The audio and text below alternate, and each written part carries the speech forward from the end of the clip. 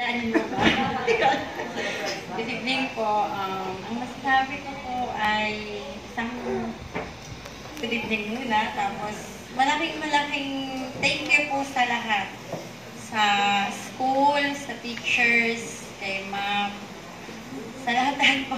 Thank you po sa lahat. Kasi kung hindi po dito sa school na to, yung mga anak ko po hindi makakapagtapos ng kagaya po ni Haymo.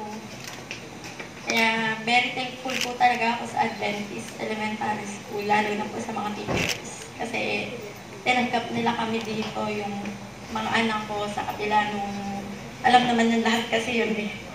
Kaya po talagang very thankful po ako sa inyong lahat, saka po sa mga kapwa ko parents, lalong-lalo po sa mga teachers. Saka po sa lahat-lahat po ng tumulong at sumapag sa mga bata, sa mga anak ko. Thank you po sa lahat.